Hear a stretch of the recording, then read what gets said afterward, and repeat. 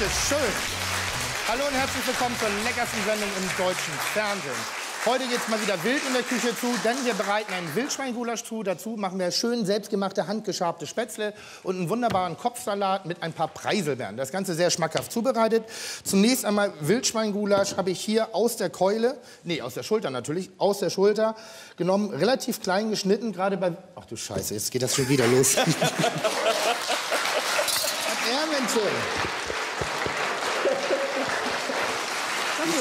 Mensch. Ich habe quasi gerade noch gesehen, wie du gesagt hast, es gibt handgeschabte Spätzle. Und da habe ich mir gedacht, das, das kannst du nicht ohne meine Hilfe machen. Sehr schön, ich freue mich. Wieder, ich weiß wirklich nichts davon. Ich bin extrem überrascht.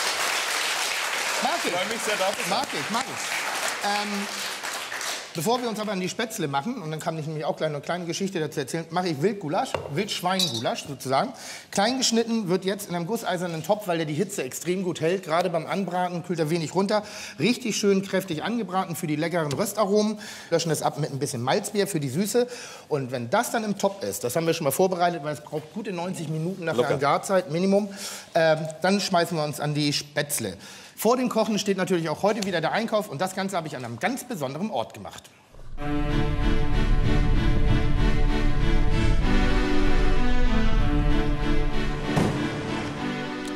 Der besondere Ort, von dem ich gerade gesprochen habe, den könnt ihr hier direkt hinter mir sehen. Das ist mein kleines pittoreskes Wochenendhäuschen. Nein, ganz im Ernst, ich befinde mich hier circa 50 Kilometer von Hamburg entfernt im Herzogtum Lauenburg.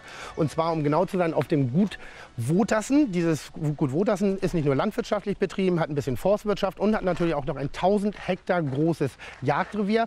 Und genau dieses Jagdrevier wird von einem Förster bejagt namens Tim. Mit dem habe ich mich verabredet, bei dem habe ich das Wildschwein bestellt, das ich heute zubereiten möchte. Ich bin pünktlich, der Förster er nicht, obwohl, doch, da hinten kommt er schon.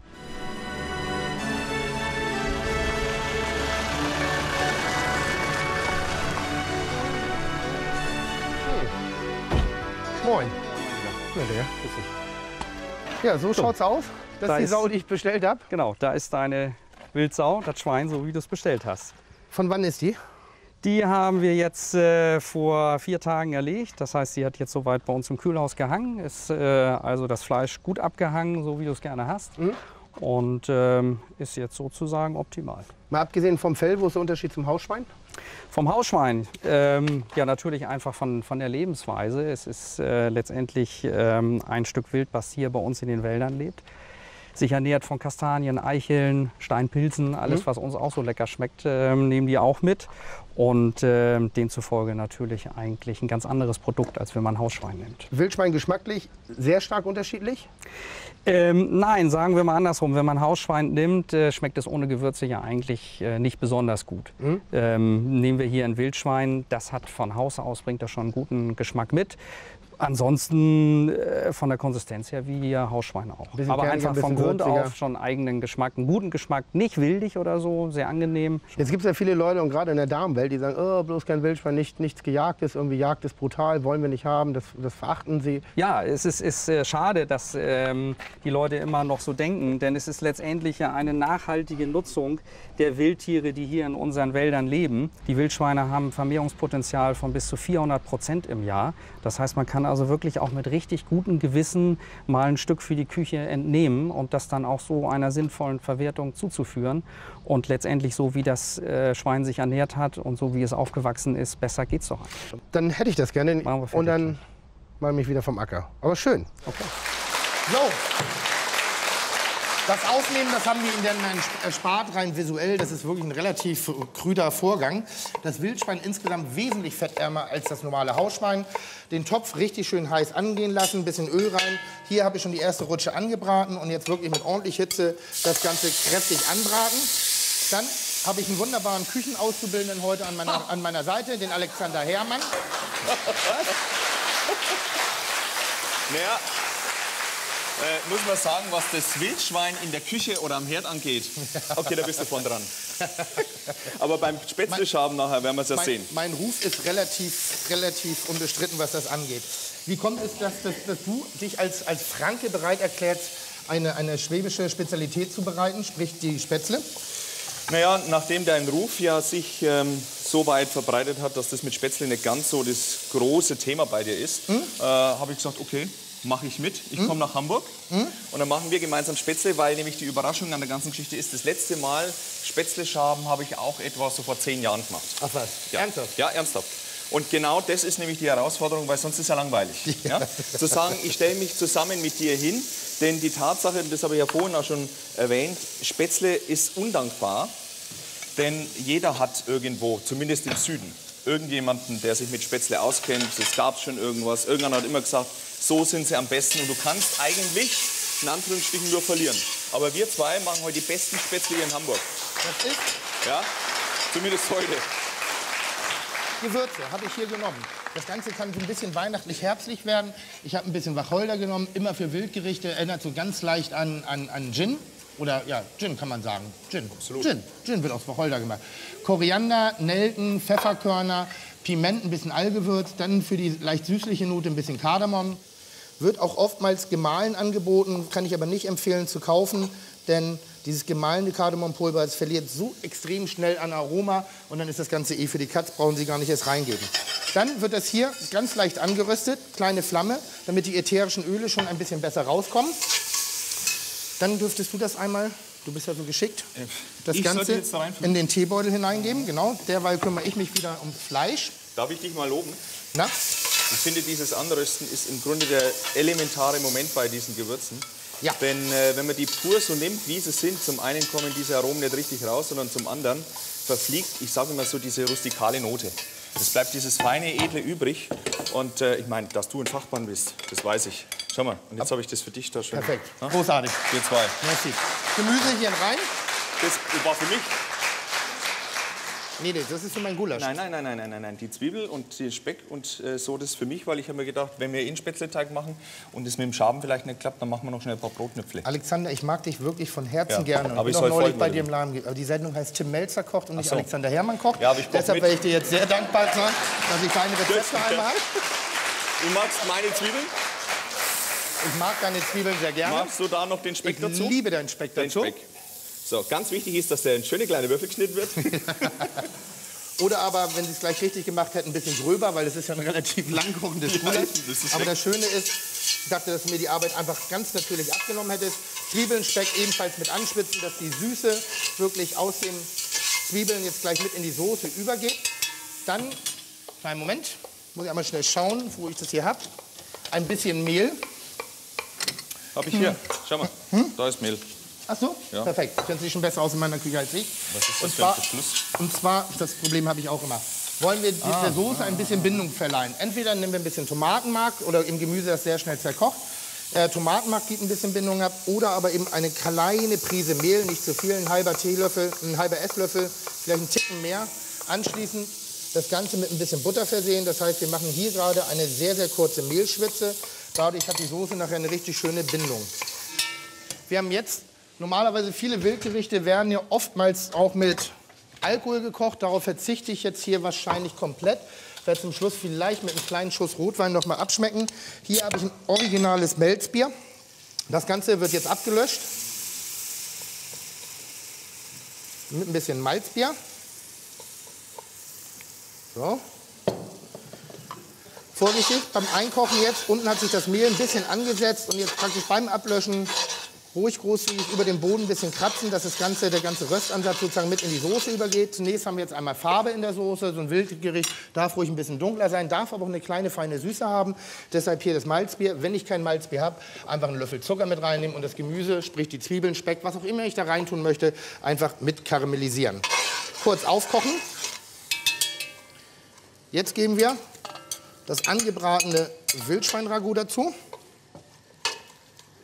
Jetzt das Fleisch hinzugeben, den Gewürzbeutel hinzugeben. Dann hoffe ich, dass ich ein bisschen Brühe habe. Ah. Optimalerweise Wildfond.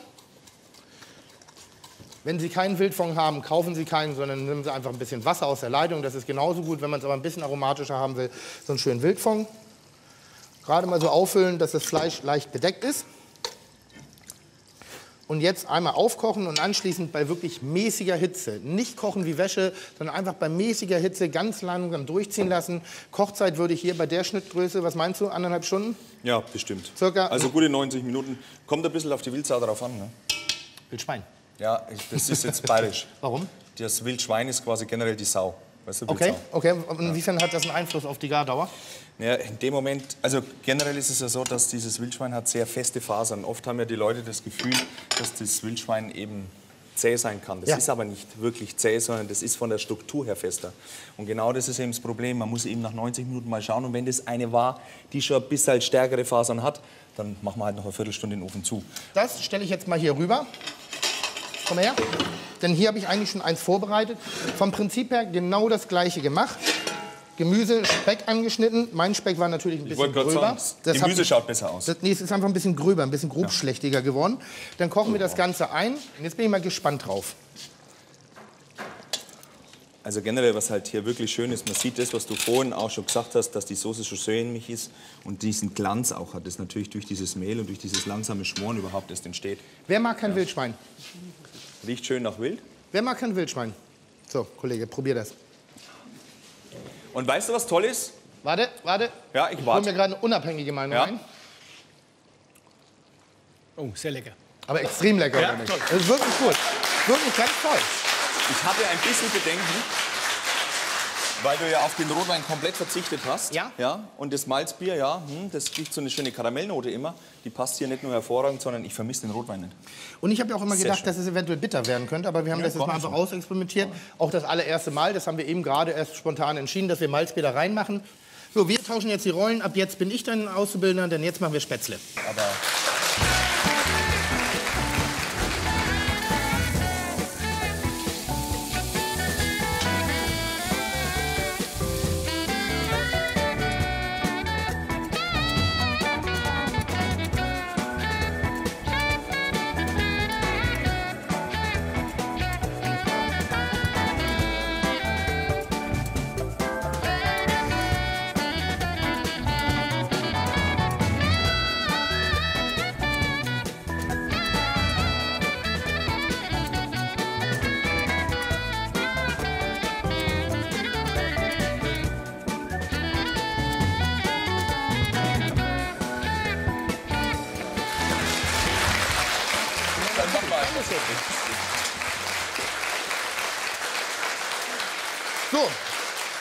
Jetzt kommen wir mal wieder zu einem, einer, ich habe relativ wenig, relativ wenig Schwächen in der Küche. Äh, es gibt also ein, zwei, drei Gerichte, die ich nicht ganz so gut beherrsche. Salzkartoffeln, Pfannkuchen und unter anderem, und ich habe in sechs, sieben Jahren Fernsehkochtätigkeit noch nie Spätzle im Fernsehen zubereitet. Das ist das einzige Produkt, was ich sofort immer gerne fertig aus dem Kühlschrank kaufen würde, aus dem Kühlregal. Ich habe jetzt aber einmal gesagt, ich mache es aber nicht selber, sondern ich hole mir jemanden. Als Überraschungsgast wurde mir jetzt Alexander in die Hand gestellt, und der als Fränke natürlich aus, natürlichem, aus dem natürlichen ja. Umfeld einfach ein Meister seines Faches ist und vor allem Meister der Spätzle. Und du erklärst mir jetzt richtig, wie es geht. Also generell, und keine halbseitigen Geschichten. Nein, nein, nein, nein. Gut. Äh, jetzt fangen wir erst mal an und wir tun gemeinsam hier diese sechs Eier komplett reinschlagen. Es gibt ja manche, die da sagen, es reicht, wenn man nur die Eigelbe nimmt. Ich persönlich halte das für nicht gut, weil dann schmeckt nämlich die Spätzle ganz schnell so nach Rührei. Also wirklich lieber Vollei nehmen und äh, dann muss man die erste Mal gut zerschlagen, diese Eier. Ja? Schneebesen oder Löffel? Na, das können wir mit dem Löffel schon zerschlagen. Warte, warte, warte, warte, warte. Hast du Schale mit drin? Ein bisschen. Muss drin lassen. Ein bisschen, ein bisschen. Du musst drin lassen. Warum? Ja, weil dann merkst du beim Draufbeißen, hallo, selber gemacht. Ah, ja. guter Tipp. Ja. Das sieht man. Na, das ist, das ist die klassische Ausrede, ja? Ganz ehrlich? Hast du schon mal Spätzle gedrückt? Hast aber, aber auch schon, ne? Durch die ja, Presse. Ja, ja, gedrückt, ja. Aber ich finde, das ist nicht der richtige Weg. Wenn, muss auch geschabt werden. Und ganz ehrlich, ich muss keine Schale drin lassen, denn jede einzelne Nein. Spätzle, die ich selber schabe, sieht aus wie selbst gemacht. Das schwöre ich dir. Ist so ein bisschen wie, das ist manchmal so eine schöne Diskussion, die ich so mit Eltern habe, wenn die dann so ankommen und dann das Bildchen von den Kindern so zeigen und ganz stolz drauf sind und wo man wirklich Eltern sein muss, um das Bild hübsch zu finden. Kennen Sie das? ja. Wenn, wenn Sie einfach so sagen, da muss man, man muss eine besondere Verbindung haben. Jetzt nehmen wir zur Erfrischung selber oder für die... Nee, nee, das brauchen wir dann nachher, das tun wir noch ein bisschen mit rein. Also Wasser brauchst du einen kleinen Schuss, dass das, ich sag mal, so abstreckst. Ich habe vor allem das Ei etwas gesalzen. Wenn du das Ei vorher salzt, entwickelt sich bei dem Eigelb eine etwas brillantere Farbe. Okay. Es gibt eine Reaktion quasi von diesem Natrium in dem Salz mit dem Eigelb. Und jetzt... Durch das Salz wird das Ei gelber? Ja, es kriegt eine etwas stärkere, kräftigere Farbe. Ist kein Schmarrn, ist wirklich so. Ich Vor allem, wenn du nur Eigelb nimmst. Musst du mal probieren. Aber jetzt hat Kann man wissen, muss man aber nicht. Doch, doch, das muss man wissen. okay. Vor allem ist es so, man soll immer schön Mehl hineinsieben, nicht so wie ich reinstreuen. Das macht man dann nur, wenn man es richtig kann. Und so, warum? Ja, weil das habe ich recherchiert. Das habe ich mhm. nämlich wirklich recherchiert. Es hieß in allen Rezepten immer, das Mehl wird gesiebt. Verraten Sie mir mal, warum. Ich weiß es. Naja, das weiß doch jeder, oder? Das hat sich doch schon umgesprochen. Vielleicht Mehlwürmer? Mehlwürmer? Mehlwürmer. ja, der war gar nicht schlecht. Was? Ja. Das ist auf jeden Fall.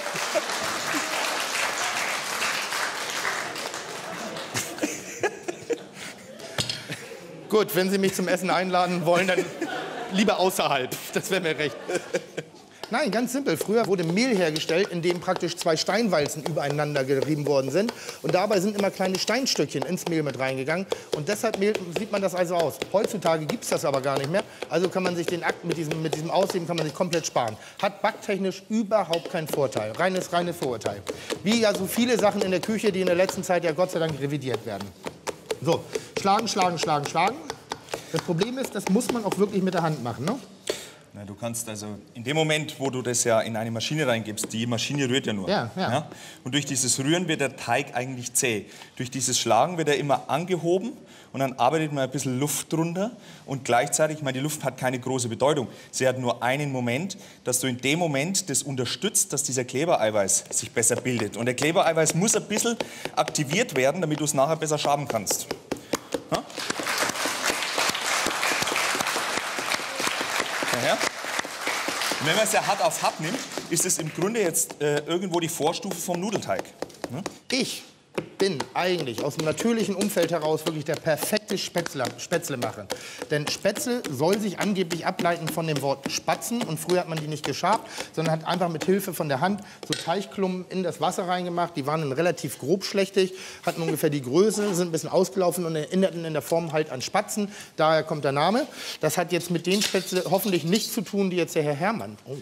Also, ich muss ehrlich gestehen, Fachgerät. Ich, ich finde, das, äh, also die gedrückten Spätzle ne, finde ich zwar nett, aber die Emotion kommt erst übers Schaben. Das glaube ich. Muss man ganz klar sagen. Und dafür braucht man ein Spätzlebrett. Das äh, hat man schon hundertmal gehört, aber genau das ist ganz wichtig, denn hier unten muss es relativ flach sein. Man legt es ja nachher genau ins Wasser rein und nur so kannst du schön reinschaben. Da gibt es halt verschiedene. Ja? Also, äh, das ist jetzt ein wenig ein kleineres und das ist im Grunde einfach so ein bisschen ein größeres. Aber wichtig ist dann auch noch dabei, manche machen das mit so einem Teigschaber. Ich nehme dann immer so eine Palette, weil dann kannst du das mehr so aus dem Ellenbogen rausmachen. So, aber jetzt kommen wir mal dazu, dass wir als allererstes mal kurz. Rezept ist was? Brett. Kann man das ungefähr sagen? Sechs Eier, 400, 300, 400 Gramm Mehl, ein bisschen Wasser? Also von der Menge her, wenn ich mir jetzt überlege, das war fast voll, ja, so 300. 300, 300 400, okay. Ja. Also Kleinen Schuss Wasser. Mhm. Jetzt bin ich gespannt. So, jetzt geben wir da mal ein bisschen was drauf. Vorher einmal eingetaucht. Ja. Wir haben quasi das Brett vorbereitet, das weiß, was auf sich zukommt. So, und jetzt so einen guten Klecks draufgeben und da lieber mal ein bisschen sparsam sein, weil viele gehen her und machen von Anfang an so viel drauf und dann wird es schwierig beim Schaben. Und jetzt streichen wir das erstmal so ein bisschen, so ein bisschen glatt. Und ganz wichtig, viel Wasser im Topf, weil man muss relativ nah ans Wasser ran. Ja? Und deswegen hier jetzt auch diese Palette, weil jetzt gehe ich her und jetzt schabe ich dann hier so nach und nach einzeln diese schönen Spätzle rein. Und ich finde, das ist eigentlich für heute nicht schlecht. Ja, dann wieder so ein bisschen zusammenziehen. Ja. Nein, das waren, das waren noch Tätigkeiten in der Lehre, verstehst du? Spätzle schaben. Ja, ich durfte nur Wurstplatten belegen in der Lehre. Aber jetzt schau her in dem Moment, wo man die ganz kurz einmal im Wasser drin hat, also den tue ich jetzt mal raus, ja, nee, das ist ruhig, derjenige, der nicht ganz so toll ist. Aber dies, das ist genau so, sollen Spätzle ausschauen. Und da liegt auch die Kunst drin, manche machen die so richtig fein, ja, das finde ich nicht ganz so toll, weil dann beißt nicht drauf. Ich finde es schön, wenn man die ab und zu so eine kleine Stärke hat, weil dann merkt man nämlich auch dieses wunderbare dann Spätzle. bin ich mir sicher, dass du meine Spätzle mögen wirst. Ich probiere es mal. Ich, normalerweise tut man die ja kurz abschrecken, das machen wir jetzt nicht. Warum nicht? Weil wir die jetzt dann gleich anschwenken. Wir wollen die ja essen, oder? Ja, deswegen tue ich die dann einfach so Pfanne habe ich dir aufgestellt. in die Schüssel rein. Ich habe übrigens noch einen schönen Trick für alle, die nicht Spätzle schaben können, aber trotzdem nicht darauf verzichten wollen. Wollen wir nachher noch zwei Brotknöpfle machen zusammen? Ja, ja. ja, Dann brauchen wir nämlich noch ein bisschen Teig. Für wie viele Personen äh, soll jetzt eigentlich unser Wildschweingericht dann nachher sein? 50. Wunderbar, reicht. Also 50, ich habe schon, hab schon 60 Spätzle geschafft.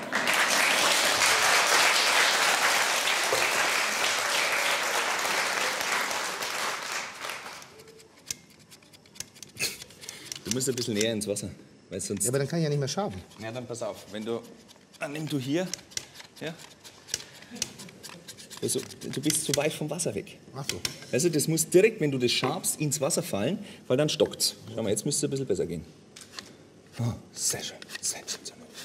Bitte, meine sehr verehrten Damen und Herren, jetzt schon mal einen kleinen Zwischenapplaus, weil das ist ein Traum. Super. So, und weißt du, was ich jetzt genau finde? Ja, auch wenn sie vielleicht äh, manche nicht so schön ausschauen, bei mir haben auch nicht alle gelungen. Ja? Nee, nee, nee, Aber das, was wir hier gemacht haben, das sind unsere Spätzle. Und liebe Oma zu Hause, wenn Sie das jetzt hier sehen und Sie sagen sich, na, meiner sind schöner. Dann glaube ich Ihnen das. Weil Liebe geht durch den Magen und so toll, wie Sie für Ihre Familie kochen, können wir das natürlich nicht. Aber das sind unsere Spätzle. Quasi die Alexander Tim Spätzle. Und das ist eine ganz spezielle Art. Die gibt es nur einmal und zwar heute. Super.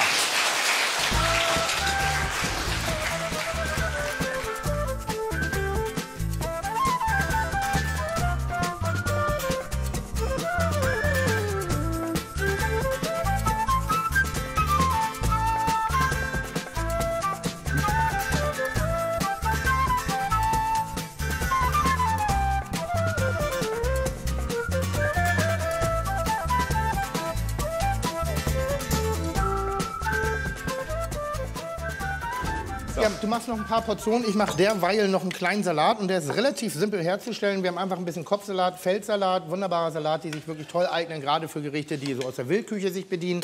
Da mal so ein bisschen was Frisches, Fruchtiges noch dazu gepaart, zusammen gleich mit den Spätzle, mit der unglaublich guten Malzbiersoße, die wir da hergestellt haben. Simples Dressing, einfach ein paar Zitronen, ein bisschen Zitronensaft nehmen. Wenn Sie keine Zitrone haben, nehmen Sie Essig. Ich bin bloß der Meinung, dass gerade in dieser Kombination der Zitronensaft sehr viel, sehr viel schöner und sehr viel harmonischer passt. Dann ein bisschen Salz. Wann immer man mit Zitrone arbeitet, auch ein bisschen Zucker hinzufügen. Ui, lange Wege für mich heute. Ja, du musst um mich herum, ich verstehe schon. Bis kleine Prise Zucker, um so die Säure, die Säure wirklich der Zitrone wieder einzufangen. Dann geben wir einfach nur Preiselbeeren aus dem Glas hinzu.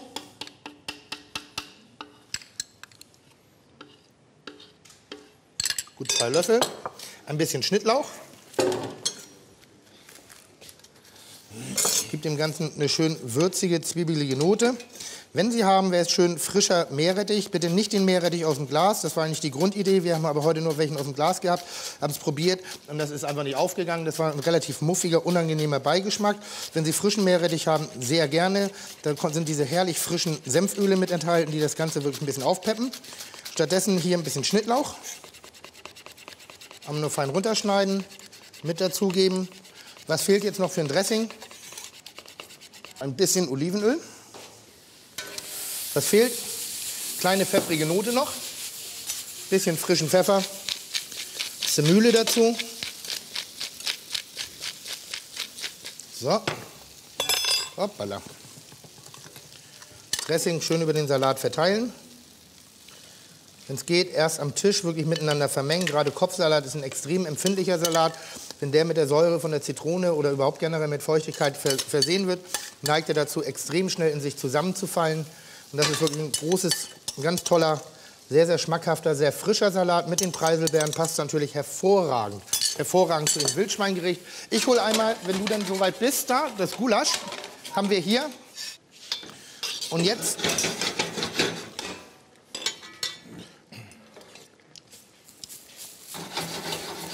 Boah. Lecker, einfach, geiles Grundprodukt, simple Zubereitung, bisschen Geduld auf dem Herd, wirklich ein schönes Gericht. Was ist das jetzt?